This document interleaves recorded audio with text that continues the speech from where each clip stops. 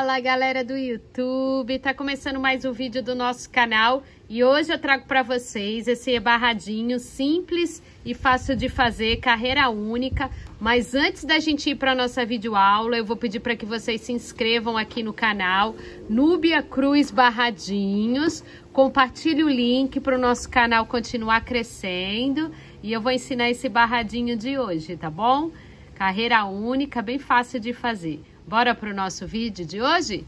Bora! Então, começando nossos trabalhos, eu vou utilizar uma agulha 1.75, meu fio Anne na cor verde limão, porque aqui é uma, só uma amostrinha que eu vou fazer para ensinar o, o barradinho, o biquinho de hoje. Eu fiz no meu pano aqui, ó, este é o pano que eu fiz todo o biquinho. É, eu fiz esse para combinar com a cor da estampa, né? O roxo com a estampa aqui. É, o fio princesa na cor roxa. E a agulha que eu também utilizei para fazer aqui foi a 1.75. É o mesmo biquinho, só que aqui eu vou demonstrar no paninho de amostra e aqui eu já fiz no meu pano todo. No meu pano todo deu 1, 2, 3, 4, 5, 6, 7, 8, 9, 10, 11, 12, 13, 14, 15, 16, 17 biquinhos, tá, gente? Vamos lá, então começar. Eu pego o meu fio. Aqui no meu cantinho, ó, da virada, eu furo. Este já tá até furado porque toda hora eu faço, né, gente, com paninho de amostra. Aí puxo uma laçadinha, venho aqui e trago o meu fio por dentro. Fazendo assim. Fiz isso, agora eu venho e faço uma duas correntinhas. Fiz as duas correntinhas, venho aqui neste cantinho, furo meu paninho também e faço um ponto baixíssimo. Viro meu paninho, porque nós já estamos fazendo essa viradinha. Agora eu faço uma.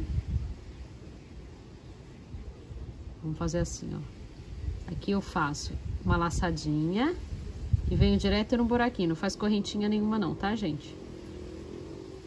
Fiz um ponto alto.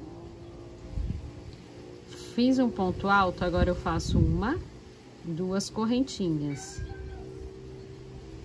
Dou a laçada, venho aqui e faço um ponto alto. Ficando assim, ó, essa virada fica desse jeito. Agora eu faço uma, duas correntinhas, venho aqui dentro deste ponto alto aqui, que na verdade se tornou um ponto V, né?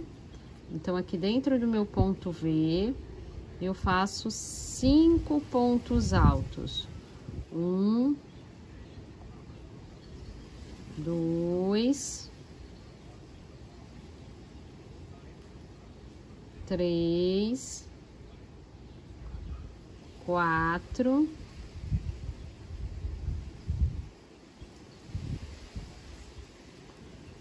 cinco pontos altos.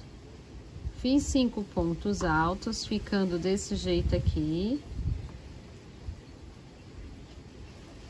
Agora eu dou a laçada. Eu dou um grande espaço, tá, gente? Esse bico aqui, ele faz rapidinho, porque a gente tem que espaçar bem, ó.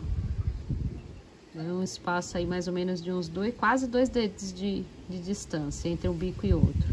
Aí eu dei essa distância e fiz um ponto alto. Fiz o meu ponto alto, Agora eu faço uma, duas correntinhas. Dou a laçada, venho no mesmo buraquinho que eu fiz o meu ponto alto e faço outro ponto alto. Ficando assim, ó, como eu falei pra vocês, um ponto V. Fiz esse meu ponto V, agora eu faço uma, duas correntinhas, venho aqui dentro do meu ponto V e faço cinco pontos altos. Um, dois, três, quatro,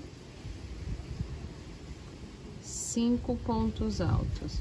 Fiz meus cinco pontos altos, ok? Ficando desse jeito assim. Agora eu dou a laçada, de novo eu dou aquele espaço grande e faço o meu ponto alto. Fiz o meu primeiro ponto alto. Agora eu faço as duas correntinhas. Uma, duas correntinhas. Dou a laçada, venho no mesmo buraquinho e faço o meu outro ponto alto. Ficando assim.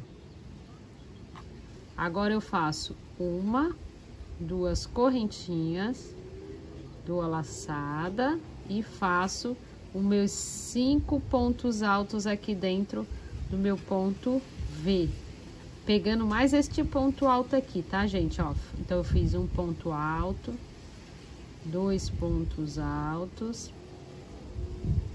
três pontos altos, quatro pontos altos, cinco pontos altos.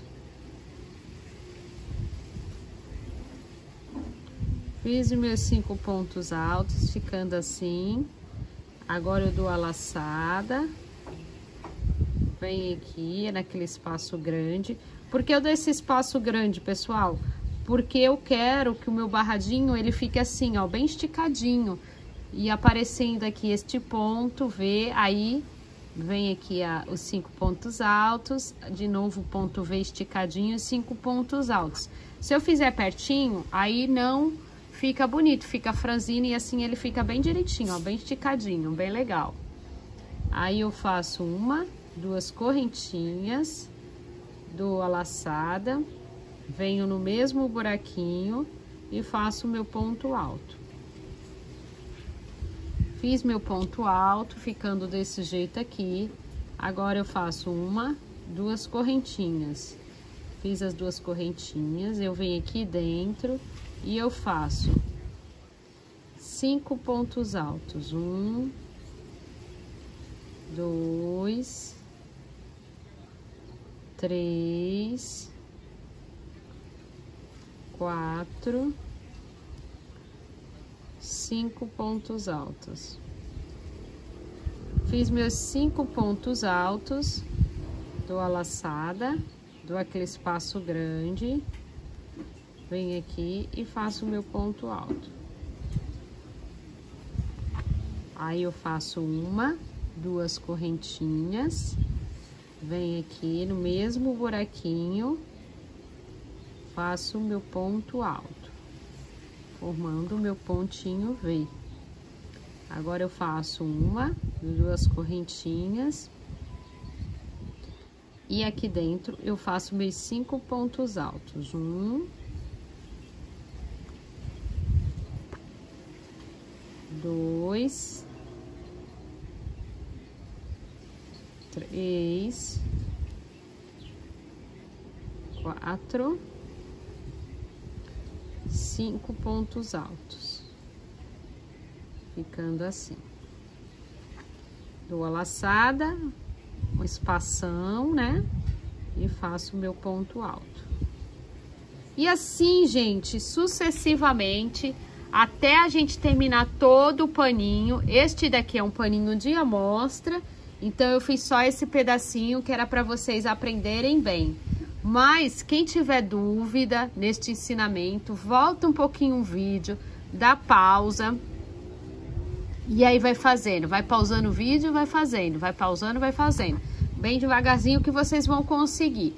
Esse barradinho dá para fazer em pano de prato, fralda, ele é super delicado, né? Então é isso, meus amores. É só seguir o ensinamento. É, eu vou dar tchau para vocês, mostrando como ficou todo aqui o meu paninho, né? Que é este daqui. E é isso. Espero que vocês tenham gostado, viu? Se inscrevam aqui no canal, quem não tá inscrito. Já se inscreve para não esquecer. Dá o joinha, compartilha com mais pessoas esse vídeo, galera. Que é para ajudar o canal a crescer com cinco pessoas, tá bom? É isso, meus amores. Vamos lá, eu vou dar tchau pra vocês e mostrar o meu pano, como ele ficou. Então tá aqui, olha só como ficou no paninho todo, né? Aquele paninho é o paninho de amostra e esse aqui foi o que eu fiz pra mim, pra eu usar. Olha que gracioso que ficou, gente. Muito delicado. Esse aqui eu fiz no fio princesa. Agulha 1.75 e eu fiz por todo o meu paninho. Aí na lateral ainda casei o paninho, ficando desse jeito aqui o resultado desse biquinho carreira única. E é isso, espero que vocês tenham gostado. Quem gostou, dá joinha aqui no canal. Não se esquece de se inscrever quem não se inscreveu ainda, tá bom? Se inscreve, compartilha o link do canal para o nosso canal continuar crescendo, dá o joinha que é para o YouTube entender que vocês estão gostando do conteúdo que eu tô trazendo aqui, tá bom? É isso, meus amores. Um beijo, um cheiro e até o próximo vídeo. Tchau!